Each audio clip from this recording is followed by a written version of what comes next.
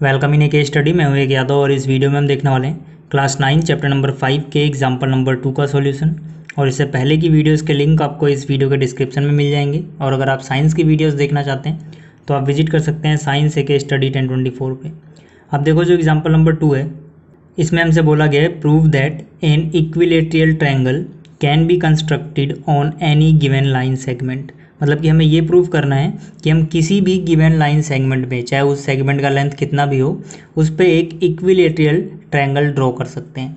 तो इसको हम कैसे करेंगे देखो? सबसे पहली बात हमें लिखना होता है, हमें गिवन क्या है। तो हमें क्या गिवन है? कोई एक लाइन सेगमेंट तो मैंने उस लाइन सेगमेंट का नाम दे दिया है ए बी तो मैंने यहाँ पे लिखा है, हमें गिवन है a line segment of any length let's A B is that line segment उसके बाद हमें लिखना होता है, हमें प्रूफ क्या करना है?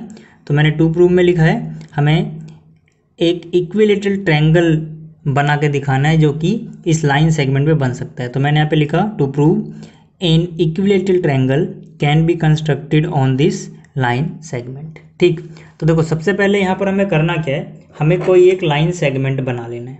ठीक? किसी भी लेंथ का आप लाइन सेगमेंट बना सकते हो। तो मैंने क्या किया? यहाँ पर एक लाइन सेगमेंट बनाया। किसी भी लेंथ का बना सकते हो। ठीक है? जैसे कि इसमें बोला गया। तो मैंने यहाँ पर एक लाइन सेगमेंट बनाया। अब मैंने क्या बोला था कि इस लाइन सेगमेंट का मैं नाम दूँगा ए बी ठीक? तो इस लाइन सेगमेंट को बोल देते हैं ए बी अब हमें ये दिखाना है कि यहाँ पर एक इक्विलिटी ट्रैंगल बन सकता है। तो इसके लिए हम क्या करेंगे? हम कंस्ट्रक्शन करेंगे। कंस्ट्रक्शन में क्या करना होगा हमें? एक बार हम ए को सेंटर मानेंगे और रेडियस लेंगे ए बी के बराबर, ठीक है? सेंटर किसको मानना है? ए को। और ए बी जितनी लेंथ का रेडियस से एक आर्क ड्रॉ कर देनी है, ठीक है? तो यहाँ पर मैंने एक आर्क ड्रॉ कर दिया। और फिर दूसरे स्टेप में हम बी को सेंटर मानेंगे और फिर से जो रेडियस होगी वो ए बी चाहे ए बी बोलो या फिर बी ए बोलो, एक ही बात है। तो यहाँ से हम फिर से ए बी या बी ए के बराबर रेडियस लेंगे और फिर एक आर्क ड्रॉ करेंगे, ठीक? ये दोनों आर्क जो हैं, वो जहाँ पर एक दूसरे को कट करती हैं, इसको हम बोल देंगे पॉइंट सी अब इसके बाद हम क्या करेंगे? ए को सी से ज्वाइन कर देंगे और बी को सी से ज्वाइन कर देंगे।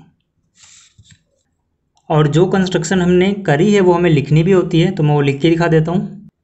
तो यहाँ पे मैंने कंस्ट्रक्शन में लिखा है, पहले स्टेप में हमने क्या किया था? ए को एक सेंटर माना था और ए बी को रेडियस और एक आर्क ड्रॉ करी थी। तो मैंने यहाँ पे लिखा है taking A as centre and A B as radius draw an arc दूसरे स्टेप में हमने क्या किया था? बी को सेंटर माना था और बी ए को रेडियस और एक आर्क लगाई थी। तो मैंने यहाँ लिखा taking B as centre and B as radius draw another arc और फिर इन दोनों आर्क ने जिस पॉइंट पे काटा, उसको मैंने क्या बोला है? सी तो मैंने यहाँ पे लिखा है both arcs intersect at C ठीक, इतना हो गया। अब देखो, यहाँ पर मैं कह सकता हूँ कि जो ए बी है, ठीक ए बी ये किसके बराबर है? ये बराबर है ए सी के। ठीक है, जो ए बी है, ये लेंथ ये ए सी के बराबर है क्यों? क्योंकि आपने यहाँ से एक आर्क लगाई, ठीक? तो ये भी रेडियस हुई और ये भी रेडियस हुई, क्योंकि भाई ये आर्क है और ये सेंटर है। सेंटर से आर्क को ज्वाइन करोगे तो आपको रेडियस ही तो मिलेगी, ठीक है? जैसे अगर पूरा सर्कल आप बनाते, तब आपको ज़्यादा जल्दी समझ में आ जाता, ठीक? और इसी तरह से मैं कह सकता हूँ कि फिर से अब यहाँ पर जो रेडियस है सेकंड वाले में, इस आर्क के लिए जो हमने ये आर्क बनाई है, इसमें रेडियस बी ए है। बी ए बोलो या ए बी बोलो, एक ही बात है। तो फिर से मैं कह सकता हूँ कि जो ए बी है, वो बराबर है बी सी के।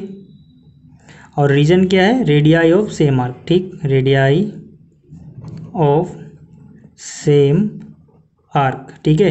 ए बी और ए सी इस वाली आर्क की सेम रेडियाई हैं। और फिर से यहाँ पर ए बी और बी सी इस वाली आर्क की सेम की रेडियाई हैं, ठीक? तो यहाँ से इक्वेशन ये वन हो गई और ये इक्वेशन टू हो गई।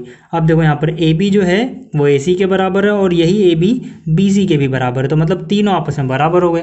तो यहाँ से मैं कह सकता हूँ from equation one and two equation one and two से जो ए बी है, वो बराबर है बी सी के और ये बराबर है ए सी के। तीनों आपस में बराबर हैं तो इसका मतलब क्या हो जाएगा? जो ट्रायंगल ए बी सी है, वो एक इक्विलेटरल ट्रायंगल है। इज़ एन इक्विलेटरियल ट्रायंगल और यही हमें प्रूव करना था। तो उम्मीद है आपको ये समझ में आया होगा। थैंक्स फॉर वॉचिंग मिलते हैं जल्दी ही अगली वीडियो में।